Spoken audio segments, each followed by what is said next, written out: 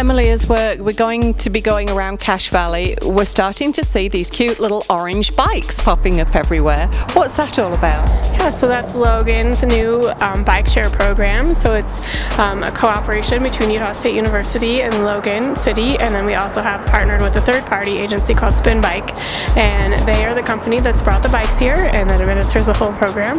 So we're really excited. Um, any Logan resident um, or anyone in Cache Valley or visitor, anyone that's here can download the app at spin.pm and then you just scan the code that's on the bike and you can check it out. And Wow. yeah, so it's really easy for residents to It use. sounds really easy. How much does it cost?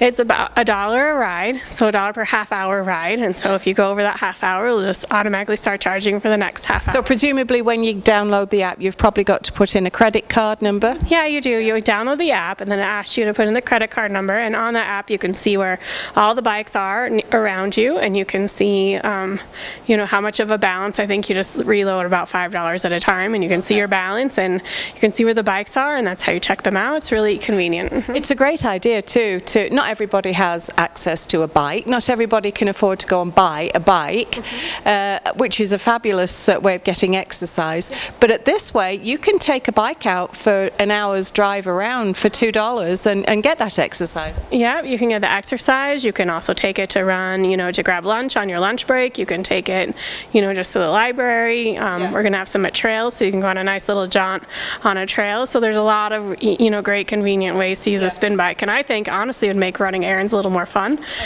yeah. Um, so now, is this a one-way trip, or is it? A, I mean, if I want to, say, someone wants to drive one out to Smithfield for something, can they leave the bike there? Do they have to bring it back? How does it work? I mean, they do ask that you bring the bikes back to Logan City proper, just because that's where they have the authority to administer the program.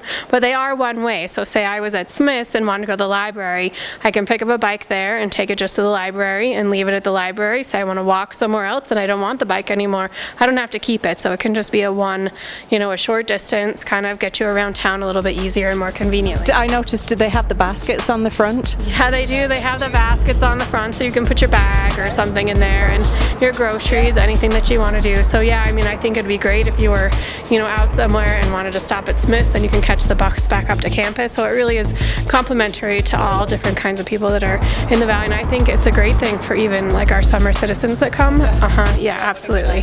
So, uh, where they, I've seen them along Main Street. Where else are they located, and are they going to be in, in more locations? Um, so they're really concentrated right now in the downtown area and then up on campus.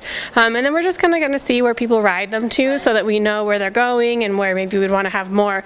And like I said, we're going to put some at some trails. So maybe the trail's a little long for walking, but it might be perfect for a little bike on a nice afternoon in the summer. So it's great. That's a fabulous idea. So, tell us how we get uh, get in contact with you, or is it uh, we just literally download the app? You, you literally just download the app, but we do have a little more information about the program. There's some rules at spin.loganutah.org, and so that's the best place to go. Tells you where to download the app, all the rules, um, where you can leave the bikes, which is kind of just about anywhere that's on public property. So yeah, you can, you know, we ask that you leave them near a bike rack, but you know, you can leave them on the sidewalk as well. So yeah, it's really great. Sounds like a really fun activity, and we're coming up to the time of year when that's just going to be a really nice. Uh, I can imagine families taking picnics down to Willow Park and that kind of thing. You know. Absolutely, and you know, taking a little jaunt around the neighborhoods Right. in the afternoon. So we're really excited to see how our community uses these bikes, and you know, and hopefully they remain popular so we can keep them around and and people can use them for years to come. So. Okay, well, if you fancy a bike ride, head down to uh, downtown Logan and uh,